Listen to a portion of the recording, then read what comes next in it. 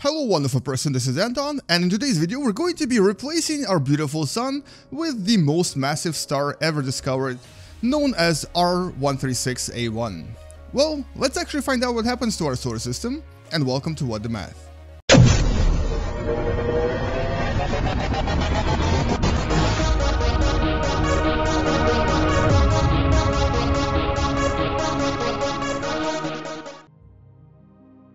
So before we actually do this replacement, let's briefly talk about what exactly is the star we're looking at and where is it located. Or actually, let's maybe talk about all of this as we literally replace our sun by erasing it from this system, maybe decelerating time a little bit, and placing R136A1 that's available to us underneath all of these stars right here. It's actually slightly incorrectly represented here. The mass given to us is 260 solar masses, but in reality we've discovered that the mass is more close to about 315 masses of sun, so it is a little bit more massive uh, than it is in the game. Now, what do you think will happen? Well, obviously things will not go very well for our solar system. Beginning with pretty much everything getting sucked into the star within what seems to be ours. Our planet Earth is burning up and is turning into this little rock and basically is colliding with the star. Uh, and this all of this happened in under a day. If I look at planets like Jupiter, for example, it's already um, super, super hot and it's already flying toward the star as well. In other words, the entire solar system is destroyed in a dramatic fashion in what seems to be under a week time, or maybe just over a week. So all of these planets will burn up and will release a tremendous amount of energy, but also will collide with a star. Now, where is the star located? What is the star all about? And how come you may have never heard of it? First of all, the star is actually not in our galaxy.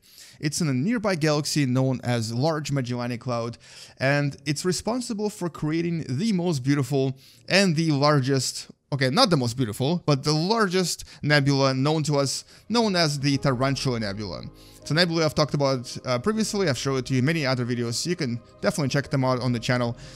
And um, this particular star is essentially a collection of various matter that combined and condensed into one very large Wolf-Rayet star that one day will very likely go supernova, which we're going to emulate right now, and will then Look at Saturn. Wow, that's amazing. It's burning up and you can actually see the tail. It turned into a comet. And now it's gone.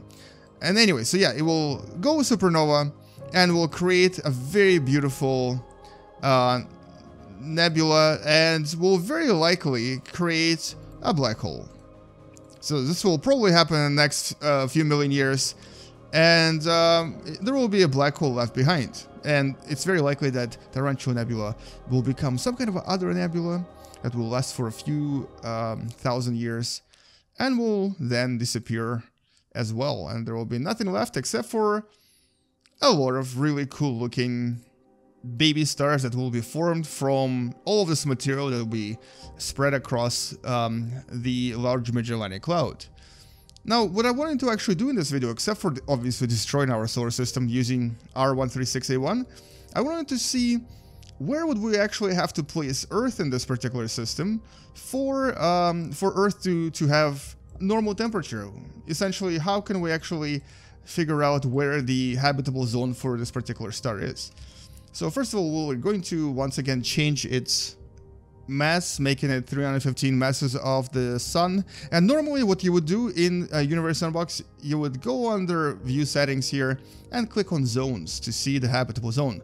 But because this is such an unusual star, and I guess because there's maybe a bug in the game, we can't really see anything about the habitable zone, so we're gonna have to eyeball it here. We're gonna have to take our Earth and place it at different distances away from the star, just to see how our Earth does.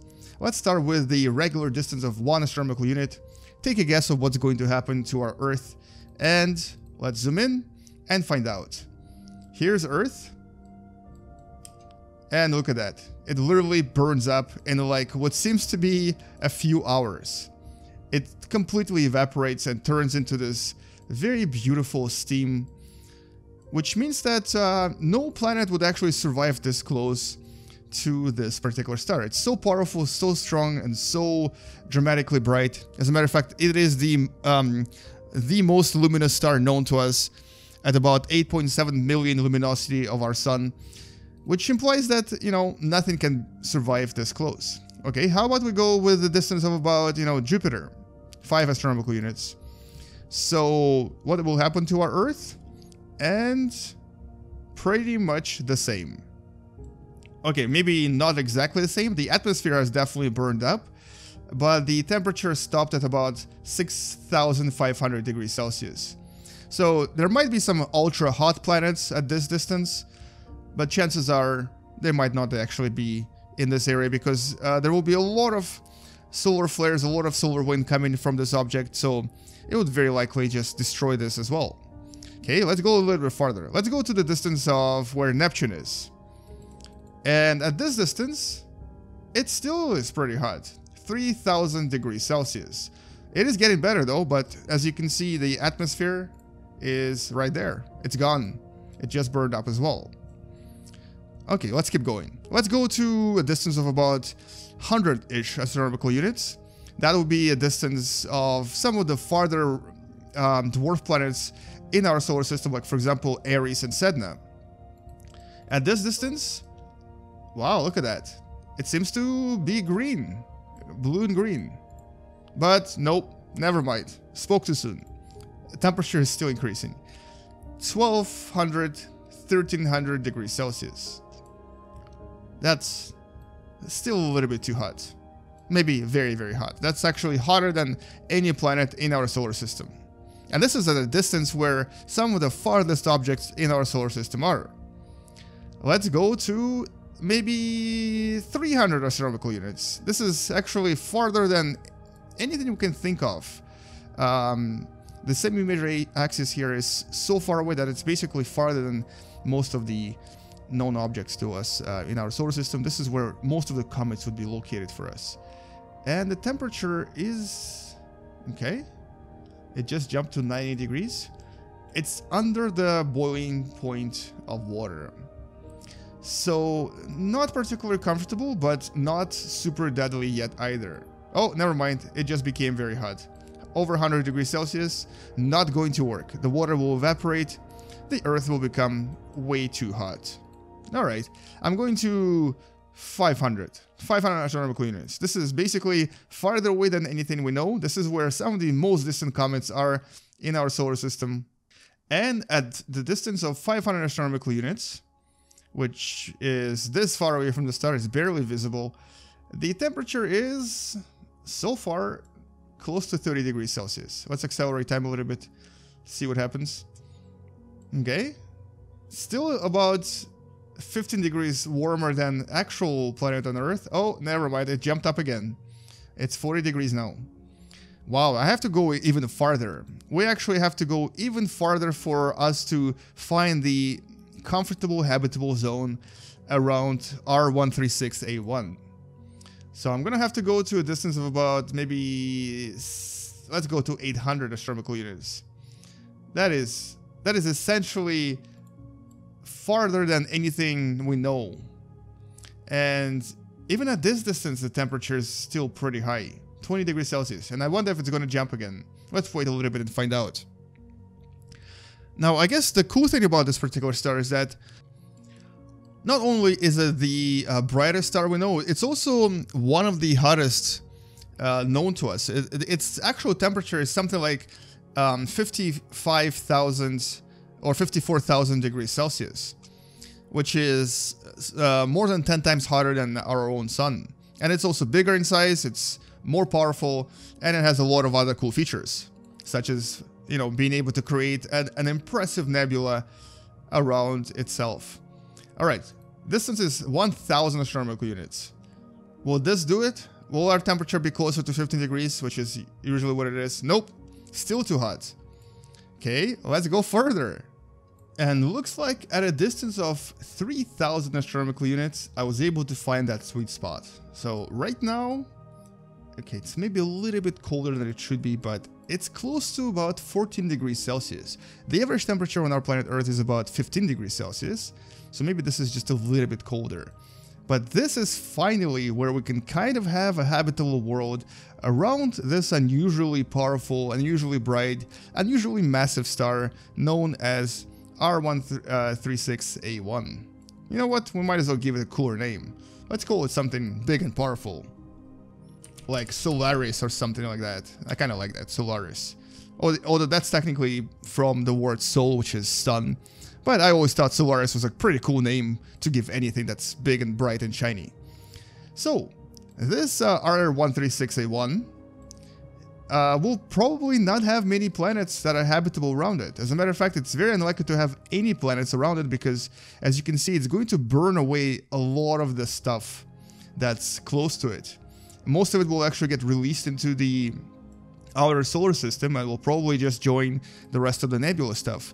And because it's a Wolf-Rayet star, about which I've talked about previously on the channel, you can check out the video about them and learn more about them.